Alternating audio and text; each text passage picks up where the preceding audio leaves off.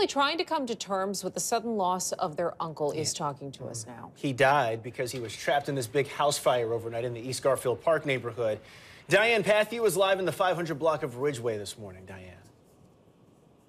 That's right. Those that knew the owner of this home say he was so well liked by so many people and was always the life of the party. Now his family is left to mourn him during the holidays. Smoke and flames billowed out of the home early this morning. Trapped inside, the 83 year old homeowner, William Jackson. His family now in disbelief. It was just devastation. That's all I could say.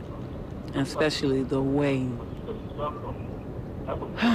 the way it looked like he went. Jackson was found in the back of the home in the kitchen area. The fire broke out in the home in the 500 block of North Ridgeway after 1:30 this morning. Firefighters worked for hours to put it out and got it out by 3:30 this morning. 83-year-old Jackson used a walker to get around.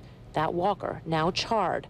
We're told it was one of Jackson's family members that first noticed the flames and knew something was wrong. One of my younger cousins who DJs at a local club in the area was leaving from his DJ job and noticed all of the fire activity, the trucks, and saw the fire and said, wait, that looks like, you know, our uncle's house and came by and realized that it was. Jackson leaves behind his wife and extended family members. He lost his son two years ago.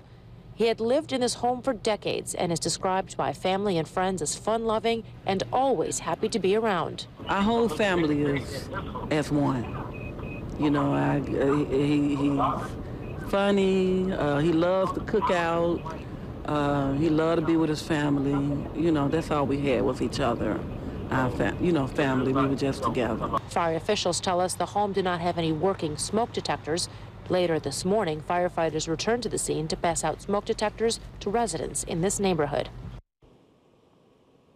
The cause of this fire is now under investigation. It certainly was a very busy morning for Chicago firefighters. Later this morning, after 4 o'clock, crews headed to 135th and South Buffalo in the Hegewisch neighborhood for another fire in a one and a half story building there.